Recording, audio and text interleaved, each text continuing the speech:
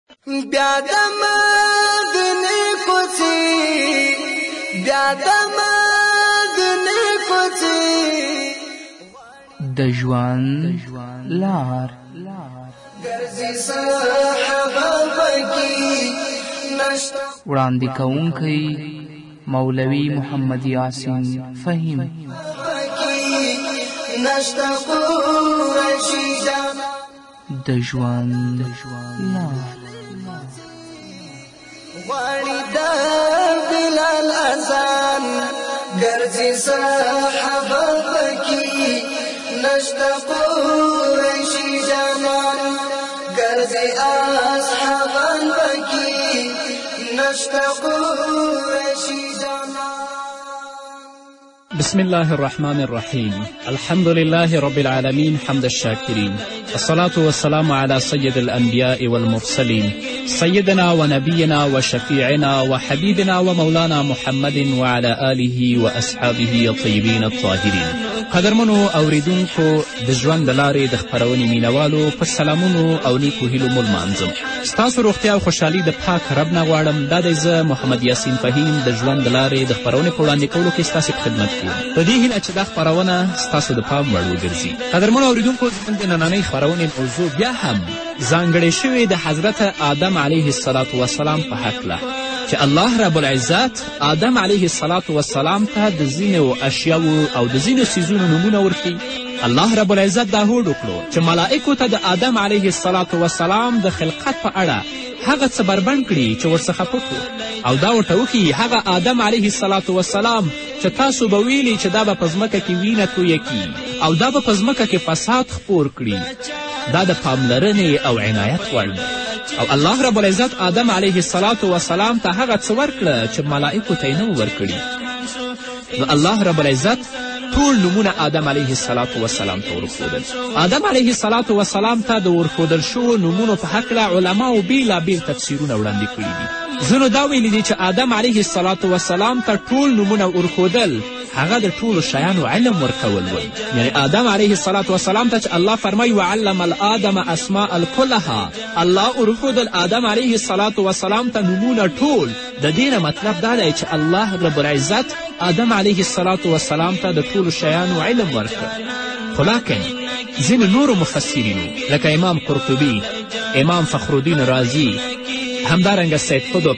په خپل تفسیر کې فی ظلال القرآن کې هغو هم دغې خبرې ته ترجیح ورکړې ده او همدارنګه دا د حضرت انس رضی الله عنه یو حدیث چې نبی علیه السلام یې روایت کړی دی هغه یې د خپل تایید دپاره د خپل د خبرو تایید دپاره هم دلیل نیولی چې مؤمنان به د قیامت په ورځ یو ځای سره راټولیږي او په خپل منځ کې به وایي چې زموږ شفاعت به د الله په دربار کې څوک وکړي نو دوی به آدم علیه السلام وسلام ته راځي او ورته به وایي ته د خلکو پلار یې په خپل لاس الله ته خلق کړی او ملائکو تا ته د تکریم سجده کړې او تا ته د ټولو شیانو نومونه یې درښودلي دي نو ته زموږ شفاعت د الله په دربار کې وکړه نو ځینې زموږ مفسرین لکه امام قرطبي فخر رازي سید قطب دا وایي چې الله رب العزت واقعا د اشیاو نومونه آدم علیه السلام وسلام ته وښودل آدم علیه السلام وسلام یوازې و اوس الله رب العزت د آدم علیه السلام وسلام د تسکین او د آدم علیه السلام وسلام د انس دپاره بیبي بی حوا پیدا کوي نو کله چې الله رب العزت آدم علیه السلام وسلام پیدا او آدم علیه السلام وسلام په جنت کې استوګن کړ هغه یوازې و هغه میرمن نه لرله تر څو له هغې سره الفت ونیسي الله رب العزت په آدم علیه السلام وسلام باندې خوب راوست چې کله په آدم علیه السلام وسلام باندې خوب راغی نو الله رب العزت د آدم علیه السلام وسلام د چپې پښتۍ نه یو هډوکی واخیست او په ځای غوښه کیښودله او بیبي حوا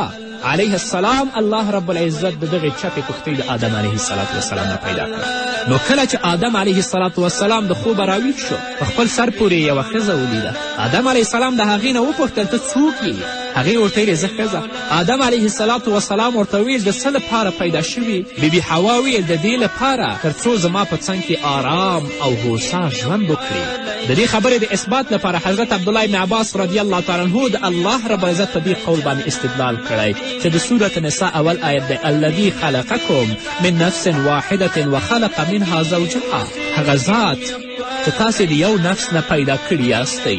او بیا د هغه نفس نه الله رب العزت د هغه زوجه پیدا کړې چې بیبي حوا ده او بیبي حوا ته ځکه بیبي حوا وایي چې دا د ژوندي شي نه پیدا شوې ده هغه هم د پښتۍ نه او د چپې پښتۍ نه رسول الله صلی الله علیه وسلم هم په حدیثو کې فرمایلی دي چې ښځه پیدا شوې د پښتۍ نه د چپې پښتۍ نه بیا په چپو پښتیو کې د هغه برنۍ برنۍ ده چې هغه په ټولو کې ډېره زیاته کږه ده نو رسول الله وایي که تاسو په دې باندې ډېر زیات فشار راولئ دا به ماته شي او که پرېږدئ هغه به نور هم کږه کړي نو تاسې خپل ښځو سره نیک معاشرت نیک اخلاق او نیک آداب او نیک ژوند تېروئ اوس آدم علیه السلام او بیبي حوا دواړه په جنت کې ژوند کوي خو شیطان واقعا د عدو مبین هغه ظاهره او ښکاره دښمن دی د انسان دپاره چې الله رب العزت په خپل کلام کې په څو څو ځایونو کې د دې یاد او ذکر کړی دی نو اوس آدم علیه السلام او بیبي حوا ته شیطان دوکه ورکوي نو کله چې الله رب العزت آدم علیه السلام او بیبي حوا دواړه په جنت کې استوګن کړل نو دوی ته اجازه ورکړه تر څو هغه نعمتونه چې په جنت کې د هغو نه ګټه واخلي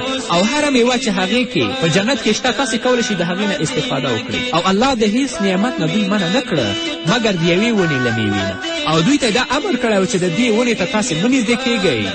لکه الله رب العزت په صورت اعراف په نولسم آیت کې فرمایي یا آدم اسکن انت و زوجک الجنه فکلا من حیث شئتما ولا تقربا هذه الشجرة فتکونا من الظالمین ای آدمه ته او ستا میرمن دواړه په جنت کې اوسیږئ هر چیرته چې هر شی ستاسې زړه غواړي هغه تاسې وخورئ خو دغې ونې ته تاسې مه نږدې کیږئ مه ورځئ او که دې ونې ته تاسې ورغلئ نو تاسې به د جملې د ظالمانو نه وشمېرل شئ نو د دې امر په اورېدو سره شیطان ډېر خوښ چې الله ورته ویلې چې تاسې د ټولو نعمتونو د جنت نه تاسې استفاده وکړئ مګر دا یوه ونه مخور د یوې میوې نه تاسې استفاده مه کوئ نو شیطان چې د امر واورېده ډېر خوښ شو خپل وسوسه یې شروع کړه حتی زموږ مفسرین وایي چې شیطان وسوسه د ځمکې نه شروع کړه او ځینې دا فرمایي چې شیطان ننوتل جنت ته په جهاد د تکریم منول اما بغیر د تکلیمه ننوت شیطان نو هلته آدم او حوا ته وسوسه شروع کړه نو شیطان چې کله د امر واورېد ډېر خوښ شو ځکه د هغوی منع کول یې له هغوی ونیسه د خپلې اغیزې او نفوذ لپاره یوه دریڅه حساب کړه دلته و چې د آدم علیه السلام وسلام او د بیبي حوا په غولولو یې پیل وکړه آدم شیطان شیطان نو آدم او بیبي حوا دې ته وهڅول چې د هغې د ونې له میوې سره چې الله د هغه نه منع کړې د هغې نه وخوري تر څو د دوی عورات بربنډ شي نو شیطان خپل هدف ته د رسېدلو لپاره خپله نقشه آدم او بیبي حوا ته داسې توجیه کوله لکه الله رب العزت فرمایي فوسوس لهما الشیطان لیبدی لهما ما وری عنهما من سوآتهما وقال ما نهاكما ربكما عن هذه الشجرة إلا أن تكونا ملكين أو تكونا من الخالدين وقاسمهما إني لكما لمن الناصحين نو شیطان د خپل هدف دپاره چې آدم او بیبي حوا ته دوکه ورکړي دې هدف رسېدلو دپاره د خپله نقشه آدم او بیبي حوا ته داسې پیش کوي نو الله وایي چې بیا شیطان آدم او بیبي حوا تیر ویستل تر څو چې د هغوی یعنې هغه عورتونه او د شرم ځایونه چې له یو بل څخه دوی پټ ساتل د هغوی په مخه کې هغه بربنډ کړي نو هغوی ته یې وویل چې ستاسې رب چې تاسې له دې ونې نه منع کړي یاست چې یعنې دا ونې د دې ونې میوې نه تاسې استفاده مه کوئ د دې لامل دا دی که چېرته تاسې په رښتې یعنې ملک یې نه شئ یا تاسې تل لپاره ژوند در په برخه نه شي تاسې دې لپاره منع کړي یاست او شیطان آدم او بی بی حوا ته قسمونه کول چې ستاسې دپاره رښتینی خیر غوښتونکی یم لاکن آدم او بی بی حوا دواړو له یاده ایستلې وه چې شیطان د دوی دښمن دی او د دوی د ازمیښت په امتحان کې او دوی دواړه په ازمیښت او امتحان کې قرار لري بالاخره شیطان آدم او بی بی حوا دواړه وغولول دوکه یې کړل او د هغه ممنوع شوي ونې له میوې څخه یې چې الله د هغو نه منع کړي و دې دواړو وخوړ په مجرد یې چې آدم علیه السلام وسلام او بیبي حوا د ونې له میوې نه وخوړل نو جامې د دیو د بدن نه لرې شوې او د آدم او د بیبي حوا د دواړو د هغه شرم ځایونه یو بل ته بربند شو لوڅ شو نو آدم او بیبي حوا دواړو په ډېرې چټکۍ سره د ځینې ونو د پاڼو په ټولولو پیل وکړه تر څو خپل عورت پرې پټ کړي دلته و چې دواړه په خپله ګناه باندې پوه شول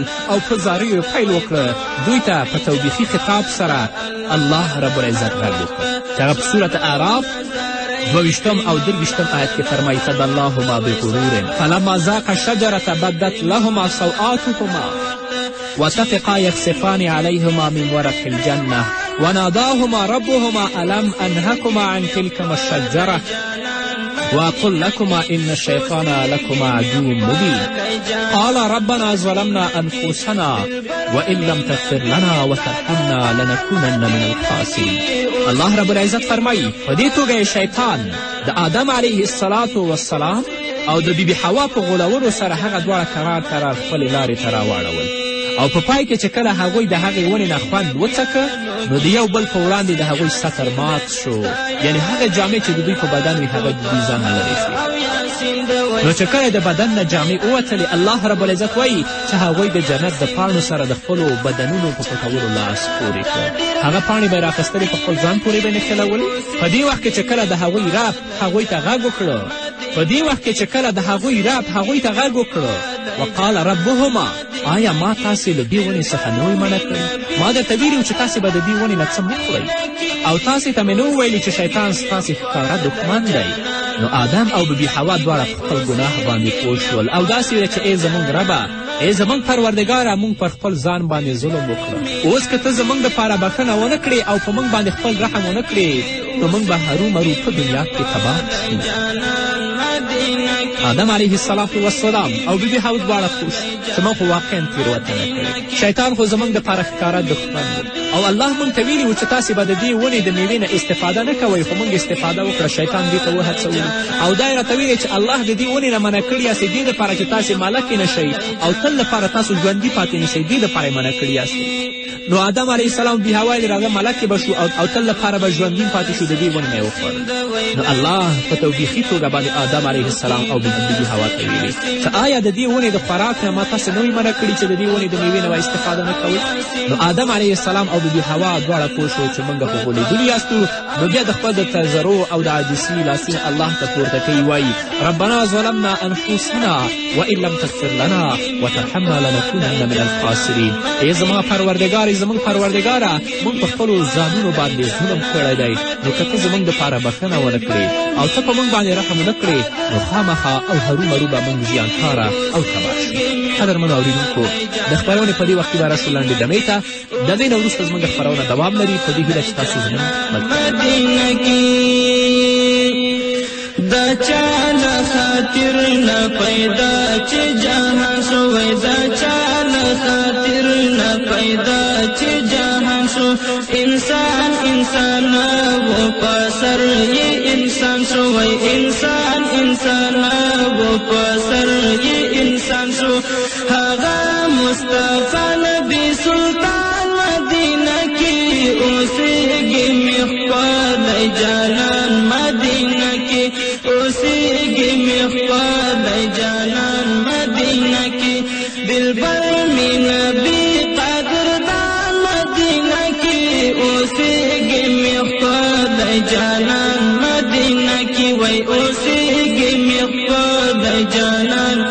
مدینه کې قدرمنو اورېدونکو بیا هم زموږ سلامونه او نیکمرغي په دې هیله چې تر دې دمه تاسو زموږ ملتیا کړئ آدم علیه السلام وسلام او بیبي هوا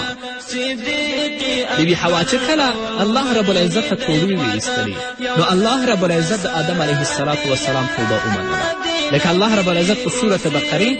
په اووه دېرشم آیت کې فرمایي فتلقا آدم من ربه کلمات فتاب علیه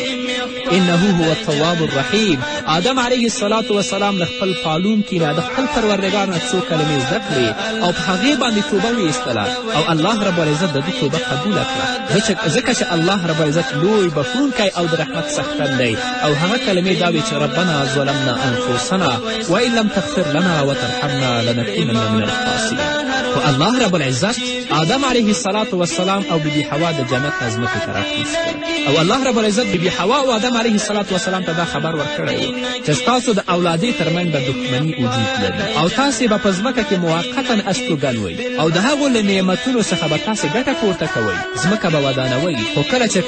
ټاکلی وخت مو پوره شي خپل اجر ته به تاسې رسوي خو په دنیا کې به د الله رب العزت د دوی په خپل هدایت او لارښوونې سره لارښود کوي لکه آدم علیه السلام وسلام چې لارښوونه کوله څوک چې د هدایت نه پیروي وکړي هغه به هیڅکله ګناه نه کوي او نه به هم بدمرغه کیږي ځکه الله رب العزت په سورة طه یو سل درویشتم آیت کې فرمایي قال اهبطا منها جمیعا بعضكم لبعض عدو فإما يأتينكم مني هدى فمن اتبع هداي فلا يضل ولا يشقى الله ورته وفرمایل تاسې دواړه له دې ځایه کوز شئ تاسې به د یو بل دښمنان وئ اوس یعنی بعضې به په بعض تاسې ځینې به ځینې نورو لپاره دښمنان وي نو اوس که زما لورې تاسې ته کوم هدایت ورسیږي نو څوک چې زما د هدایت پیروي کوي هغه به نه بېلارې کیږي او نه به بدمرغه کیږي او نه به په بدمرغۍ کې هغه اخته کیږي شیطان خو آدم علیه السلام وسلام او ببي حوا ته دوکه ورکړه د شیطان په دوکې باندې الله دواړه د جنت سره کوز کړه اوس په دې کې دا خبره ده چې آیا دا شیطان لکه ځینې خلک چې دا وایي چې د ملایکو استاز دی آیا دا شیطان د ملایکو د ډلې نه دی که دا پیری دی او جن شیطان یعنې ابلیس د ملایکو له ډلې څخه نه دی ځکه په دې هکله د هغه لاندې دلایل په قرآن عظیم شان کې راغلي دي او دا اثباتوي چې ابلیس د جنیاتو له ډلې نه دی د ملائکو د ډلې نه دی او د هغو خلکو ادعاوې ردوي چې هغوی وایي ابلیس د ملائکو له ډلې نه دی حتی ځینې تش په نامه باندې علما هغه د ملائکو استاد ګڼي او دا خبره په بشپړ ډول باندې ضعیفه او د منلو وړ نه ده ځکه الله رب العزت په زغره ویلي دي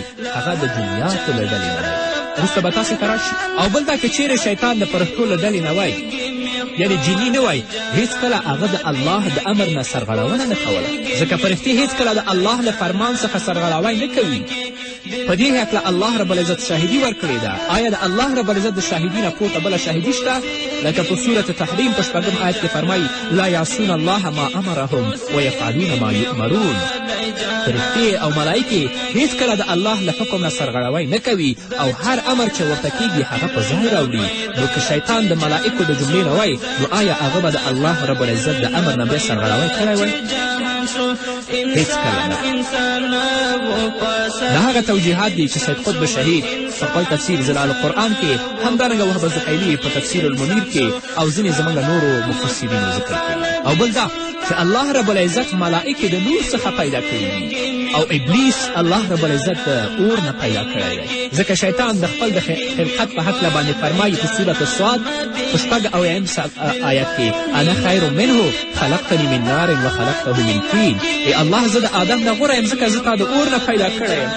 او آدم دې د خټې او د خاورې نه پیدا کړی نو که چیرې د فرښتو د ډلې نه وای یعنې شیطان د فرښتې له ډوله نه وای نو حتما به ویل چې زه دې هم له نور څخه پیدا کړی او آدم دې د خاورې نه پیدا کړی همدارنګه یو صحیح حدیث دی چې مسلم د حضرت عایشې رضی الله عنها نه روایت کړی دی چې پیغمبر علیه الصلاة وسلام فرمایلي چې فرښتې له نور څخه پیدا شوي دي او جنیات له اور څخه پیدا شوي دي او آدم علیه الصلاة وسلام د هغه څه نه پیدا شوی دی چې تاسې ته بیان شوي دي چې همدارنګه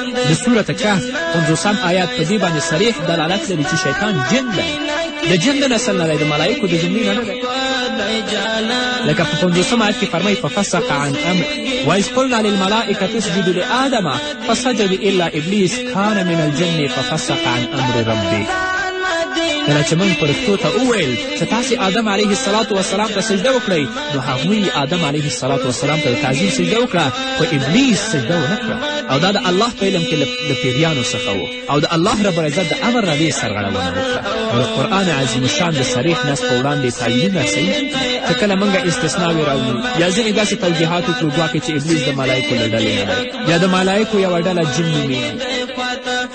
هغه د دوزخ ساتونکي دي او ابلیس د هغو مشر دی او داسې نورې خبرې دا خبرې هیڅ یوې قوي او صحیح نه ده او دا د منلو وړ هم اوس به دې مسئلې ته راشو چې آیا آدم علیه السلام وسلام نبي و یا رسول د الله رب العزت کلام د آدم علیه السلام وسلام په نبوت باندې تصریح نه لري یعنې زغر دا تصریح د الله په کلام کې نشته لکه څرنګه چې د نورو انبیاو په نبوت او رسالت باندې هلته تصریح شوې لکه د ابراهیم علیه السلام اسماعیل علیه السلام موسی علیه السلام عیسی علیه السلام والسلام او محمد رسول الله صلی الله علیه وسلم لکن هغه یې بله واسطه مخاطب کړې ده او په دې خطابونو کې هغه ته اوامر او نواهي کړي دي ځینې شیان یې ورته حلال او ځینې ورته حرام کړي دي بغیر له دې نه چې آدم علیه السلام ته کوم رسول او ملائکه ورولېږي او دا چارې ټولې د نبوت معنا رسوي پس له دې وجې نه موږ ویلی شو چې آدم علیه السلام وسلام نبي و خو د رسالت یعنې یا رسولوالي په هکله یې اختلاف دی خو قوي خبره په دې هکله دا ده چې آدم علیه السلام وسلام نبي و نه رسول او دا خبره د هغه حدیث شریف د شفاعت په هکله دی چې مسلم ابو هریره روایت کړی دی او د دې خبرې تایید هم کوي چې آدم علیه السلام نبي دی رسول نه دی چې خلک به د قیامت په ورځ نوح علیه السلام ته ورځي او ورته به وایي چې ته د الله لومړنی رسول د ځمکې پر مخ پس که چیرې آدم علیه السلام ورسان رسول وای نو بیا د آدم علیه السلام وسلام نبوړ نو دا خبره معلومه شوه چې آدم علیه السلام وسلام نبی دی رسول نه دی ځکه د دو نورو انبیا علیهم السلام وسلام په رسالت باندې د الله رب العزت کلام زغر د تصریح کړي خو د آدم علیه السلام وسلام په رسالت او نبوت یې نه خو لاکن الله رب العزت ځینې شیونه آدم علیه السلام وسلام ته حلال او ځینې ورته حرام ګرځولي بغیر د دې چې آدم علیه السلام وسلام ته څوک ور واستوي نو دا ټولې د نبوت معناوې لري نو آدم علیه السلام نبي دی او دا زموږ فقهاو مفسرینو په دې باندې تصریح کړې ده انشاءالله په بلې خپرونه کې به په دې باندې وغږېږو چې هغه جنت چې آدم او حوا پکې ول آیا هغه جنت په دنیا کې او په آخرت کې